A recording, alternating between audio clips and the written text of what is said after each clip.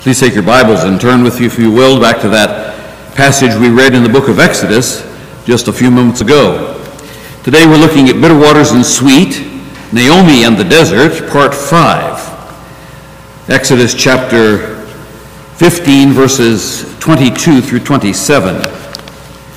Now, the first thing that we noticed as we were going through this passage contains one of God's most important principles in his plan for divine training and the discipline of his people. No pain, no gain. God clearly uses adversity to conform his people to the image of Christ. In parallel, we also saw three corollary principles. Pain first, for focus. God brings the pain to get our attention. Pain second, for cleansing. God uses it to burn the dross out of our lives. And Pain first, the third principle, pain first for spiritual growth. Those of you who are gardeners know that you have to trim your various plants at certain times of the year, which will produce the maximum amount of growth, the most beautiful flowers. And God does that with us by letting affliction come into our lives. The second thing we saw was the worse comes before the better. And then we saw in many passages on this that suffering comes before glory. So if we feel like we're going through unbearable suffering now, we know, because the Bible says so, that God has designed it for our good and for His glory. Because God uses those times to burn the trash out of our lives and to conform us to the image of our Lord Jesus Christ. So the big principle is, which ties into our text, we must learn to quit complaining about how much we hurt and how much we are suffering because of our present experience and emotions, because God is using it to conform us to the image of Christ. Remember what Paul said in 2 Corinthians 4 for our light affliction, which is but for a moment worketh for us a far more exceeding and eternal weight of glory, while we look not at the things which are seen, but at the things which are not seen. For the things that are seen are temporal, but the things that are not seen are eternal. What a difference between the temporal things that rot and fall apart and get blown over by hurricanes and knocked over by earthquakes and swept away by fires and war. Those are temporal things. If that kind of stuff can happen to it, it's temporal. So we don't look to the temporal, we look to the eternal. And that helps us get over those times that are so difficult in our lives. Suffering before glory is, in fact, one of God's key training principles all over the Bible. It clearly is indicated in our text, which is Exodus 15 22 and following. Exodus, as I think I mentioned before, is actually the exposition for an entire book, an exposition of the principle of suffering before glory, and it starts here in chapter 15. Remember what James said? Blessed is the man that endureth temptation, for when he is tried, he shall receive the crown of life which the Lord hath promised to them that love him. Do you believe the promises of God? Jesus made that promise. We also saw the principle in multiple passages in both the Old and New Testament. This exact same principle of suffering before glory. We saw it in Exodus, Numbers, Joshua, Psalms, Matthew, Luke, John, Romans, 2 Corinthians, Philippians, 2 Timothy, James, Hebrews, 1 Peter, and Revelation. And that's only scratching the surface. But I read you verses out of every one of them that state that principle specifically. Perhaps Peter best summarizes the suffering of Christians in 1 Peter chapter 1 and chapter 4. Searching what or what manner of time the Spirit of Christ which was in them did signify, when it testified beforehand the sufferings of Christ and the glory that should follow. Now, because Jesus went through it, he, in his grace, allows us to go through it. Here's what it says in chapter 4. Building on chapter 1, with the sufferings of Christ and the glory that should follow, we find in chapter 4, Beloved, think it not strange concerning the fiery trial which is to try you, as though some strange thing happened unto you. but rejoice inasmuch as ye are partakers of Christ's sufferings. That's what he talked about in chapter 1, verse 11. You are partakers of Christ's sufferings. That when his glory shall be revealed, ye may be also glad with exceeding joy. Sufferings followed by glory. If ye be reproached for the name of Christ, happy are ye, for the Spirit of glory and of God resteth upon you.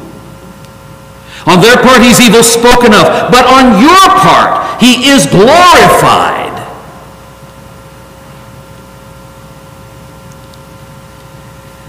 But let none of you, that includes all of us here, let none of you suffer as a murderer, or as a thief, or as an evildoer, or as a busybody in other men's matters. Yet if any man suffer as a Christian, let him not be ashamed, but let him glorify God on this behalf, for the time is come that judgment must begin at the house of God. And if it first begin at us, what shall the end be of them that obey not the gospel of God? And if the righteous scarcely be saved, where shall the ungodly and the sinner appear? Wherefore, let them that suffer according to, say it with me, the will of God. Let's read that again. I'm going to read it and ask you to say those words with me.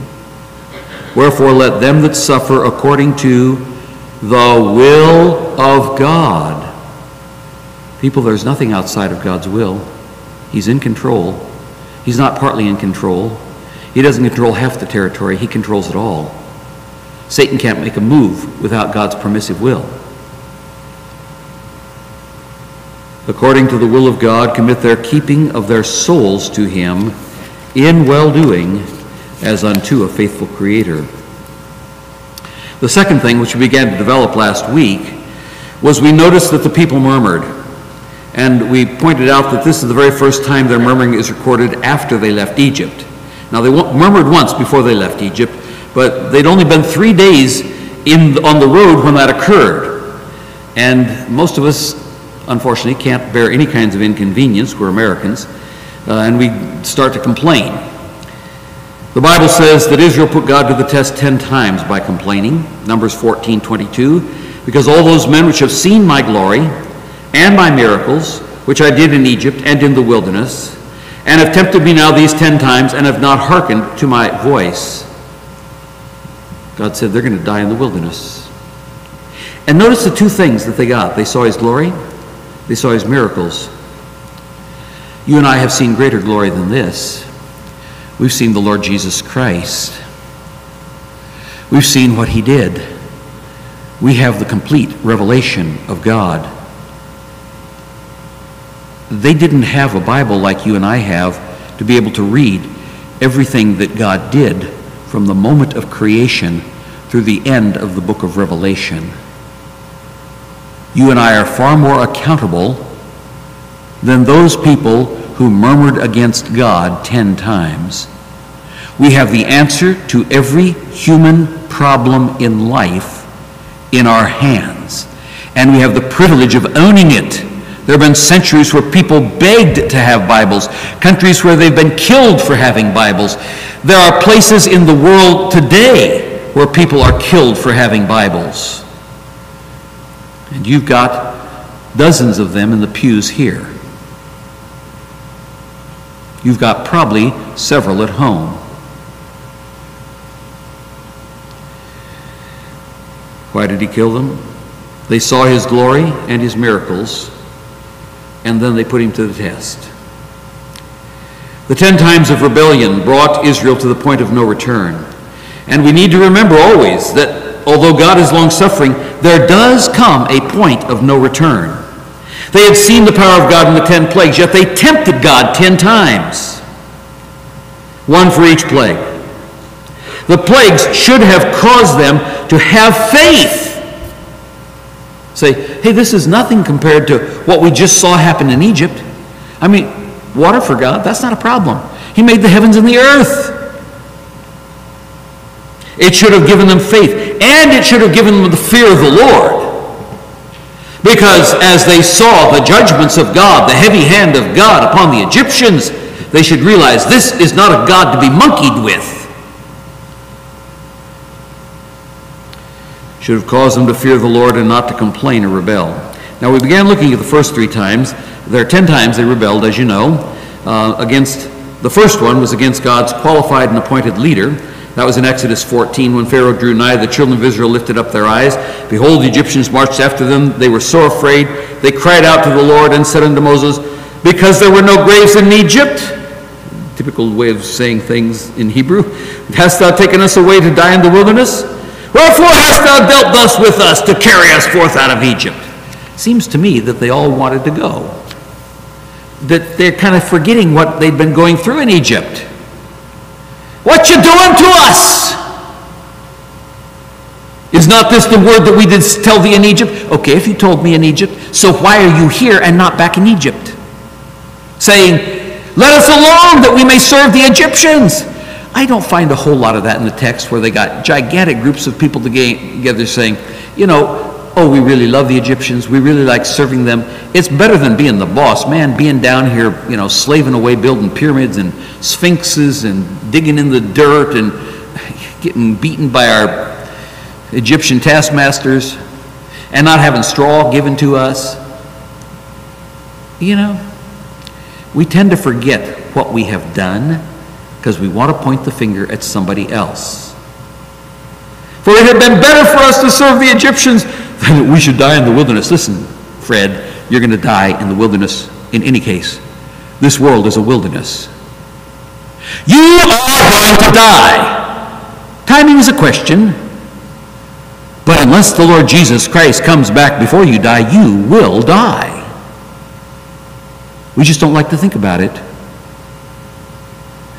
My life and your life is getting shorter as I speak. Those of you who are here on time at 11 o'clock this morning, your life is now 52 minutes shorter than it was at 11 o'clock. That's a fact. You're not going to add anything on the end of it. The day of your death is appointed. This is not something to complain to God about. Instead, it should be a motivation to serve Christ 100% because we don't know how much time we have left. Give your entire all to Christ. Don't hold anything back. Because someday you will stand before Him and you will give an account. Well, that's a very important lesson to learn from that first time of complaining. And last week I also added to what I had previously said about rebellion against God's ordained leadership, and I expanded on that principle. We asked the question why is rebellion against God's ordained leadership considered by God to be rebellion against God? And we saw there were at least four reasons. Number one, God always provides leadership in every sphere of authority which He has ordained. Leadership is necessary for those under authority for their protection, for the direction, for their discipline, and a host of other reasons. That's supported by many passages of Scripture. There are four categories where God has ordained authority. And in those categories, God has provided intermediate leaders between Him and those who are under their authority. God also doesn't just suggest, God commands that those leaders be obeyed. Those categories are the home, and we looked at those passages in Ephesians and Colossians, the church, and we looked at some very specific passages in Hebrews, the government, and we looked at passages over in Romans for that, and in the workplace. And as we went through those, we saw that at least in the home, there is a dual level of authority. There are husbands and there are wives who are in positions of authority. And the children are to obey on both levels. Children, obey your parents in the Lord, for this is right. That's Ephesians 6 1.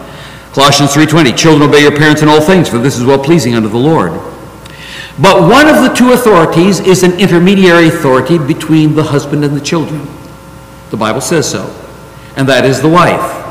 Wives, submit yourselves unto your own husbands as unto the Lord, for the husband is the head of the wife, even as Christ is the head of the church, and he is the Savior of the body.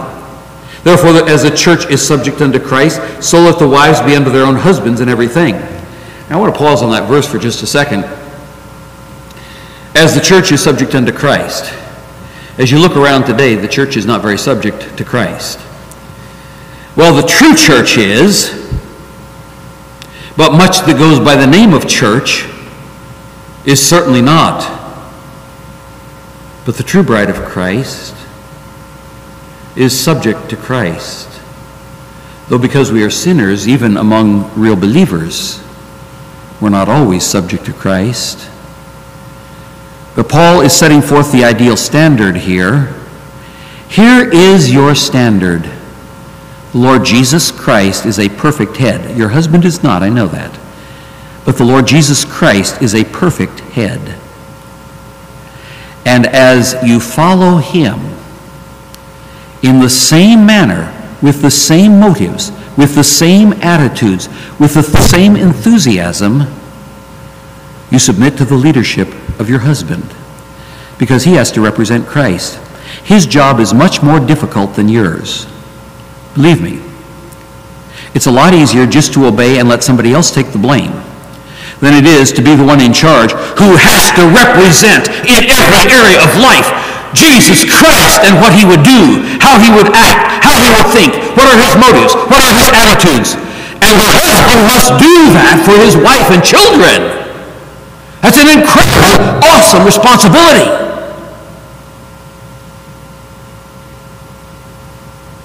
Wives, don't complain about the submission. The other role is a lot more difficult.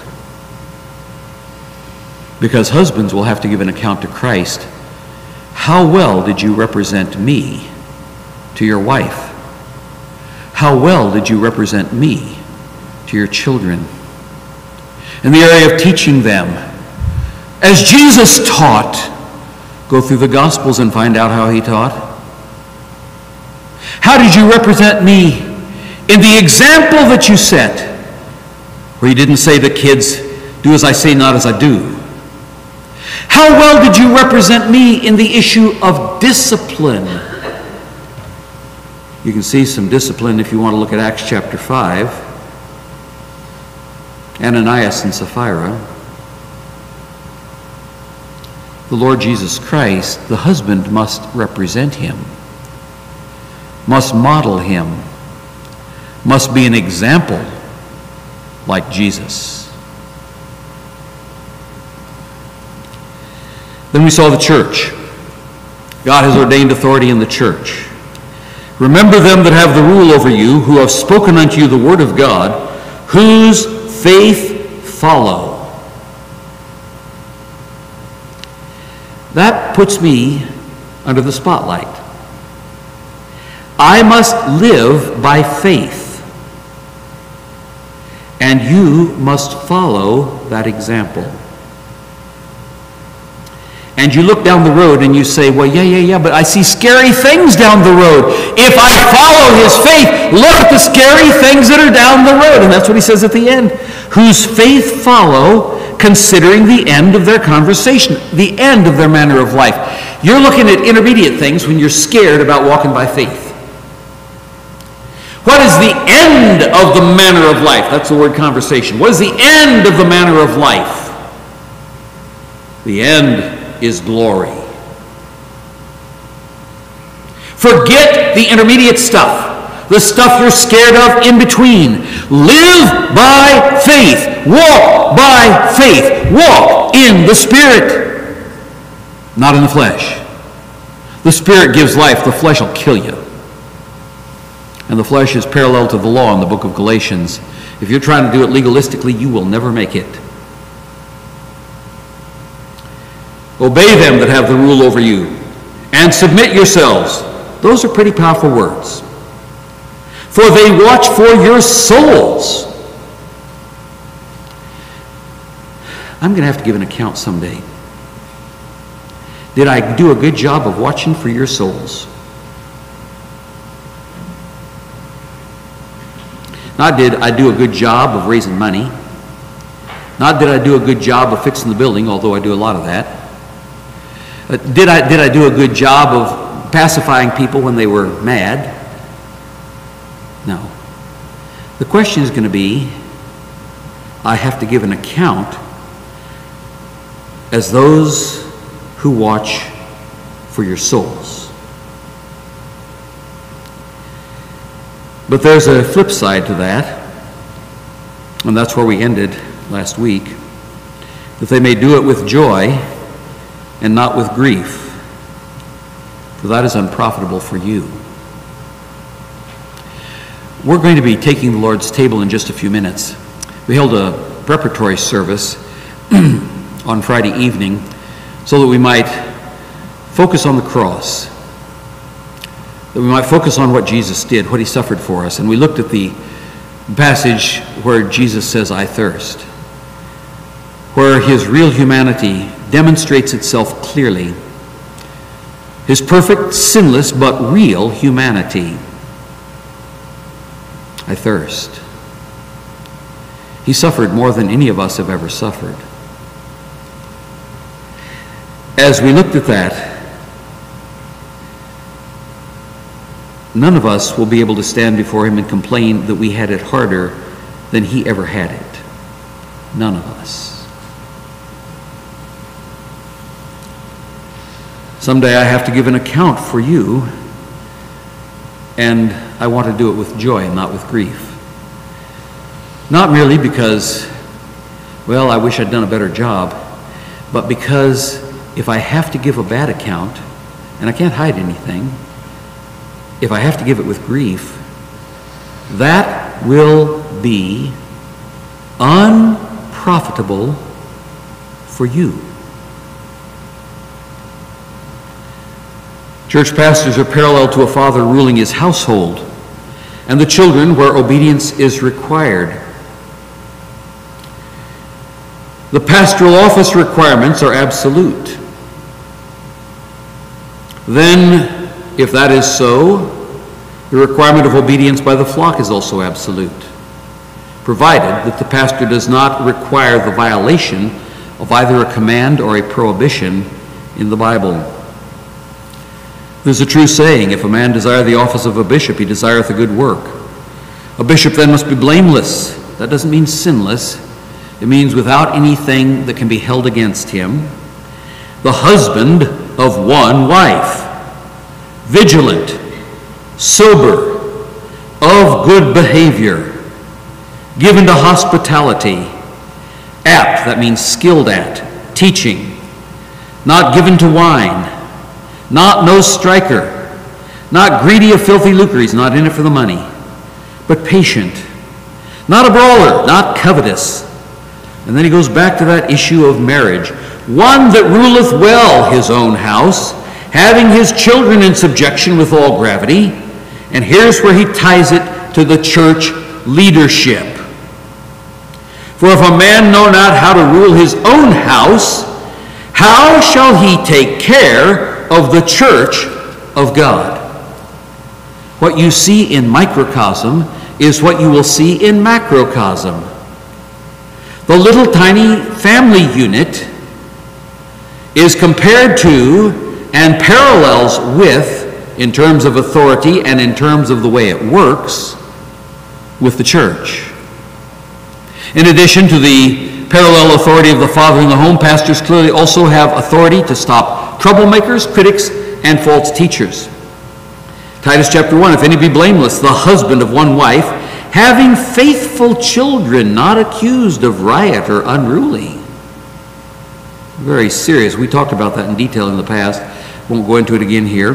For a bishop must be blameless as the steward of God, not self willed, not soon angry, not given to wine, no striker, not given to filthy lucre, but a lover of hospitality, a lover of good men, sober, just, holy, temperate holding fast the faithful word as he hath been taught. Now, here it is. They're supposed to stop troublemakers, that he may be able by sound doctrine both to exhort and to convince the gainsayers, those who speak against the truth. For there are many unruly and vain talkers and deceivers, especially they of the circumcision, whose mouths must be stopped. And he tells you why. They move in and out of the congregation. They spread their false doctrine. They spread innuendo. They spread gossip. They spread lies. They subvert whole houses, teaching things which they ought not for filthy lucre's sake. We had an experience with that at Grace Bible Church in San Antonio 40 some years ago. We had a Catholic family come into the church. They claimed that they had been saved, a father, a mother, eight children. Everybody was happy to see them. Nice to always have families with lots of children and so on. What we didn't realize was that they'd gotten involved in the charismatic movement, and they were going from house to house and holding prayer meetings, which seemed nice, you know, cottage prayer meetings going on. But they claimed, and they were speaking in tongues and getting other people to do it, uh, they claimed at one point that a ball of fire appeared to them, which they said was the Shekinah glory, and that God had spoken to them and told them to take the church over. And so one Sunday morning, the entire group of them marched down to the front of the church as the service was in progress and said, God told us to take over the church. And they told my dad, get out of the pulpit. Well, if you know my dad, that wasn't the thing to say to him. He looked at him and he said, I'm sorry, we're a nonprofit corporation.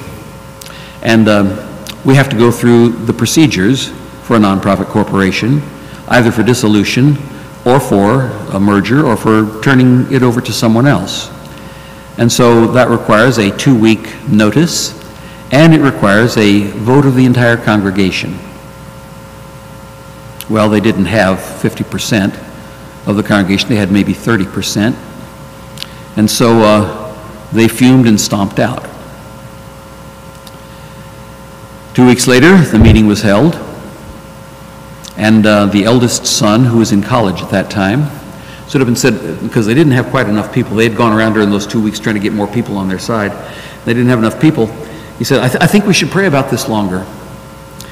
And a little old lady in the church, she was about this tall, and on a cane, she got up and waved her cane at him and said, Young man, sit down. We've prayed about it. he sat down. Interestingly enough, today he's a judge. They voted, and the charismatic types were voted down. They stomped out in a huff. But to show you God's blessing, the following week, there were more people in church than had ever been there before. It was packed. A healthy body needs an elimination every now and then, and the church is the body of Christ. Rebuke them sharply, he says. Their mouths have to be stopped. One of themselves, even a prophet of their own, said, The Cretans are always liars, evil beasts, slow bellies. This witness is true. Wherefore, rebuke them sharply, that they may be sound in the faith. Then we saw government, and we saw that it's ordained by God. Let every soul be subject to higher powers. There's no power but of God. The powers that be are ordained of God.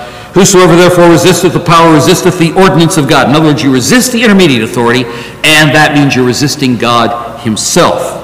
And they that resist shall receive to themselves damnation. We saw under work, servants, be obedient to them that are your masters according to the flesh with fear and trembling, in singleness of heart as unto Christ. Again, over in Colossians, servants, obey in all things your masters according to the flesh, not with eye service as men pleasers, but in singleness of heart, fearing God.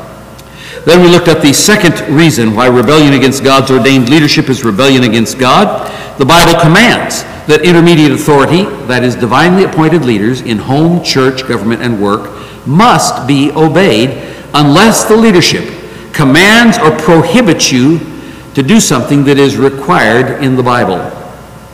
When you rebel against divinely qualified and appointed authority, you are directly disobeying a command of the Bible. Third reason why rebellion against God's ordained leadership is rebellion against God is this rebellion against authority is an attempt to establish your own personal authority and stems from pride, which is the sin of the devil. And we read you that passage out of Isaiah chapter 14. Now, those are all the theory, the theory of rebellion, if you will, the theory of authority, the theory of rebellion. Today, let's move out of rebellion theory and take the question to another level where I would say the rubber meets the road. You know how that works. People always want to know precisely the limit by which they are obligated and beyond which they think that they're free from anything else. You know, what's the maximum I have to do? I mean, you go, bring it down here, down the rubber meets the road. I mean, I don't want to worry about that other stuff. Just what, how high do I have to jump? I mean, that's the way people are. They almost never want to do more than is required. We see that in the kid question. Do I really have to do it? In other words, don't I have other options? And the answer sometimes is no. There are no other options. Let me give you an illustration from the life of Christ. Luke chapter 10. And behold, a certain lawyer stood up. Everybody's looking at me, right? A certain lawyer stood up and tempted him, saying, So the lawyer is putting Jesus to the test. See if you can figure this one out, counselor. And tempted him, saying, Master, what shall I do to inherit eternal life? Jesus asks him some setup questions. And he said unto him, What is written in the law? How readest thou? Now, he's heard Jesus' sermons before this, so he knows the answer that Jesus will give. Because this is the answer that Jesus would give. But then he's to, he thinks he's to sneak up on Jesus and hit him with a question that Jesus can't answer. Or if he answers it, it'll be like really super pro Jewish only. He answering said, Thou shalt love the Lord thy God with all thy heart, and with all thy soul, and with all thy strength, and with all thy mind and thy neighbor as thyself. Because Jesus had said that before. They'd asked him, what the, What's the great command in the law? And Jesus quotes that. And he says, The second is like unto it Thou shalt love thy neighbor as thyself. So the lawyer already knows where Jesus stands on the issue. And so he quotes back the words to Jesus. But he, look at verse 29, he, willing to justify himself, the whole motive was not to know what's the right thing to do. The whole motive was to declare himself righteous. Because he was a good Jewish lawyer and he had lots of good Jewish clients. And he was specialist in Jewish law. That's the word that's used for lawyer here. He wanted to declare himself righteous. I'm good enough. I'm going to make it to heaven by pulling myself up on my own bootstraps. He, willing to justify himself, said unto Jesus, Aha, here comes the big surprise question. Not a surprise for Jesus. Because Jesus is God. He knew it was coming. And he already had a well made illustration to slam the lawyer in the jowls and knock him down flat. Here's the question Who is my neighbor? Well, if I have to love my neighbor as myself, I got to know who my neighbor is. I mean, is that just the guy who lives on my right side and left side? Does it include the guy across the street? Uh, how does it mean everybody at the synagogue? Uh, how about everybody who comes to Jerusalem to the temple to worship? Which ones are my neighbors and which? Because some of those guys aren't really, really good Jews. I mean, some of them are bad. You know, they come once a year to sort of ease their conscience. Uh, who exactly is my neighbor? And of course, you know what Jesus follows with. He gives us the narrative of the Good Samaritan. And Jesus answering said, A certain man went down from Jerusalem to Jericho and fell among thieves, and they stripped him of his raiment and wounded him and departed, leaving him half dead. And by chance there came down a certain priest that way, and when he saw him, he passed by on the other side. We say, well, but those are the hierarchy. You know, those who are descended from Aaron, I mean, really, they shouldn't have to put up with that kind of stuff, you know.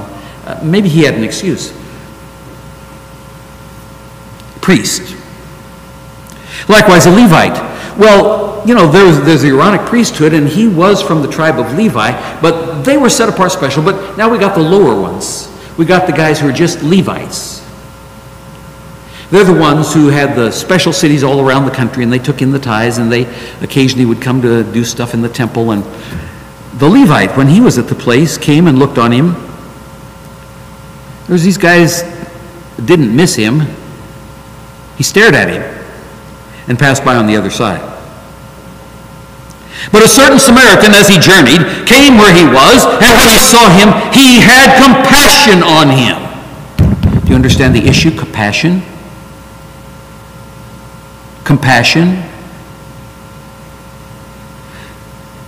What is the Samaritan motivated by? He looks at a Jew and he has compassion. Jews hated Samaritans, and Samaritans hated Jews. Samaritans were a half breed. They were people who, in their ancient history, had intermarried with Assyrians. They were considered impure. They had their own area of the land. They had their own temple. They had their own worship. They had their own sacrifices. It was sort of parallel to, but not quite exactly the same as, what was going on down in Jerusalem. He had compassion on him and went to him and bound up his wounds, pouring in oil and wine, and set him on his own beast. That means he walked. And brought him to an inn and took care of him. And on the morrow, when he departed, he took out two pence and gave them to the host, and said unto him, Take care of him.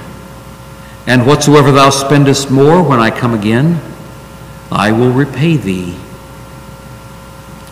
And so Jesus now asks a question to the lawyer